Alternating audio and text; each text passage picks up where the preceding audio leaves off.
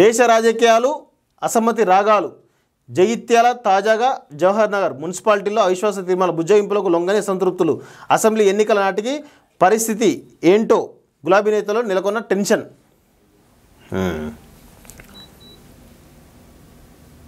ఊపర్ అంటే ఊపర్ దేశ రాజకీయాలు అందరు అసమ్మతి రాగాలు.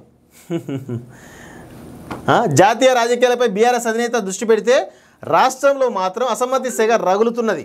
మొన్నటి వరకు అంతా కూల్గా ఉండగా ఒక్కసారిగా మున్సిపల్ కార్పొరేషన్ మున్సిపాలిటీలో కార్పొరేటర్లు కౌన్సిల్లో అసంతృప్తి బయటపడుతున్నది. మేయర్ చైర్మన్ చైర్పర్సన్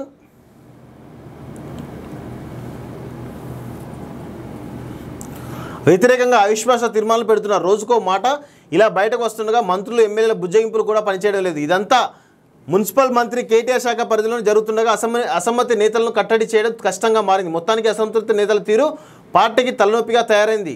ఓ వర్గాన్ని నచ్చజెపితే మరో వర్గం కూడా అసహనం బయటపడుతుందనే ఆందోళన వెంటాడుతుంది. దీంతో అవిశ్వాసాలకు తెరపడేది ఎలా అనే చర్చ రాష్ట్ర వ్యాప్తంగా జోరుగా సాగుతుంది. అసెంబ్లీ ఎన్నికలకు ముందు అసమ్మతి సెగలతో ప్రమాదం ఉందనే టెన్షన్ పార్టీ నేతలు పట్టుకుంది. మున్సిపల్ యాక్ట్ ప్రకారం పాలకవర్గం ఎన్నికై మూడేళ్ళు పూర్తయిన తర్వాత ఆ కమిటీపై అవిశ్వాసం నోటీస్ ఇచ్చే వెసులుబాటు కార్పొరేట్ల కౌన్సిల్కు ఉంది. దీంతో రాష్ట్ర అవిశ్వాసాల పరంపరకు తెరలేసింది. జోరుగా అవిశ్వాసాలు. అంతా కేటీఆర్ వైపే.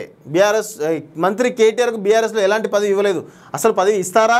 లేదా? అనే దానిపైన క్లారిటీ లేదు. అయితే మున్సిపల్ శాఖ పరిధిలో విశ్వ అవిశ్వాసాల నోటీసులను కంట్రోల్ చేయాల్సిన బాధ్యత ఆయనపైన ఎక్కువ ఉందని పార్టీ లీడర్లు పేర్కొంటున్నారు మూడేళ్ళ కిందట మున్సిపల్ పదవి ఎంపికలో భిన్నాభిప్రాయాలు వచ్చినప్పుడు కేటీఆర్ ఇరు వర్గాలతో సంప్రదింపులు జరిపి ఒప్పించాలని గుర్తు చేస్తున్నారు. మరి ఇప్పుడు ఆయన జోక్యం చేసుకొని పరిష్కరించాలంటున్నారు. అయితే కేటీఆర్ మాత్రం మౌనంగా ఉంటున్నారు. మంత్రులు ఎమ్మెల్యే సమస్యలు పరిష్కరించాలని సూచి సూచించినట్టు తెలుస్తోంది. ఏం లేదు. వీళ్ళు పవర్లో ఉన్నప్పుడే వీళ్ళ పరిస్థితి ఇలా ఉంటే పవర్లోకి దిగితే వీళ్ళను కుక్క ఏది రోడ్డు పోయిన పోయేంటి కుక్క కూడా తేకదు వీళ్ళని చాలా దారుణంగా అవుతుంది పవర్ నుంచి పోతే వాళ్ళ పరిస్థితి.